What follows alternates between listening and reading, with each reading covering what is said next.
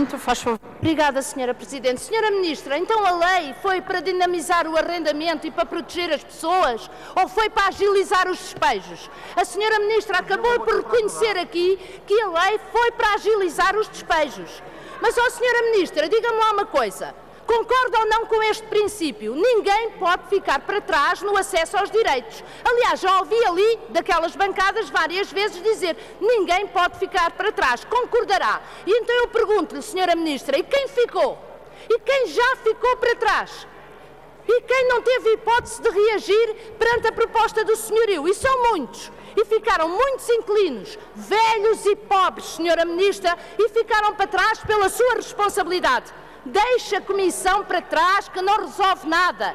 Volta ao início. Esta lei não pode continuar a ser aplicada e a Senhora Ministra não pode lavar as mãos como Pilatos. Nem se pode dizer que lá para a primavera logo se vê, como disse o CDS. Lá para a primavera logo se vê. É a vida das pessoas que está em causa. É preciso agir e agir já. Eu pergunto-lhe, Senhora Ministra, o que é que a senhora diz às centenas de inquilinos que ficaram para trás e que não tiveram informação nem apoio, para além de falar daqueles que não tiveram apoio jurídico nenhum.